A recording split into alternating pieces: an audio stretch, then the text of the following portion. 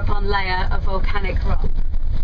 Which is why when you look at the caldera side, you can see it's like somebody has sliced it. So you can see all the layers.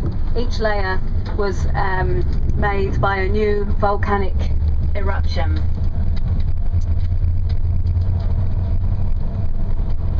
On the top of Profitis Ilias there is a monastery and these days it's um, it's not very busy. I think there's just four monks living up there.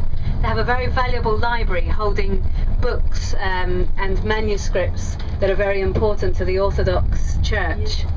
Uh, but other than that, not too much goes on there. Back in the 18th century, when these islands were ruled by the Ottoman Empire, they had a secret school up there and that's where the Greeks could pass on their traditions and language to their young. But these days, of course, there's no need for secret schools. Greece has been independent since 1821, and uh, and now the children can attend school in their own villages. Each village, there are about 13 villages, each one has schooling from the age of 4 up to 12 in the village, and then after that the children will go to one of the larger towns where the high schools are situated. And then they can they stay at the high school until they're 18 years of age.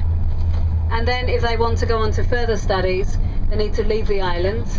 Um, they can either go to university in, in um, Crete or Athens or Thessaloniki, or as many do, they go abroad, they go further afield.